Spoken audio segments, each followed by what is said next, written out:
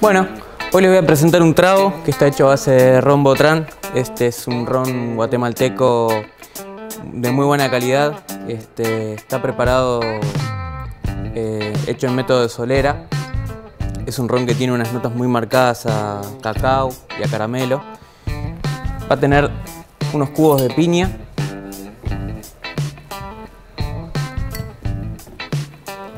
Y lo que vamos a hacer con esto es machacar la piña para que largue el jugo. Va a tener una onza de jugo limo, una onza son más o menos 30 mililitros.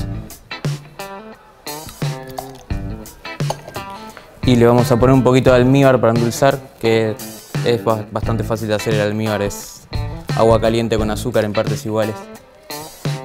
Que va a ser este, lo que nos va a dar un poco de dulzor en el trago.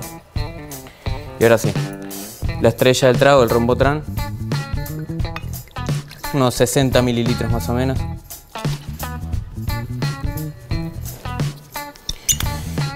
Y vamos a poner unas gotitas de amaretto, un poquito más de 10 mililitros. Este, en este caso este amaretto es bastante tostado y va a realzar este, las notas del ron. Es un licor de almendras. Añadimos hielo a la coctelera y hacemos una batida fuerte.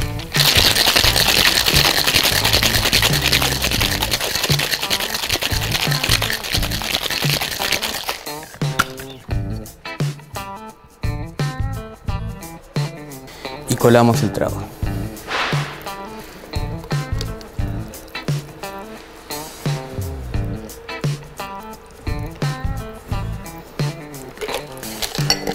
Lo que vamos a hacer ahora es completar nuestro trago con un espumante italiano, un prosecco, un espumante muy rico, muy fresco, tiene algunas notas a fruta blanca, durazno, melocotón. Un trago muy fresco, muy de verano, ideal para estar al lado de la pileta. Bueno, los invito a que se animen a preparar este trago. Este es ideal para tomar al lado de una pileta o con amigos en un asado. Yo creo que va a funcionar muy bien. Este, así que bueno, salud.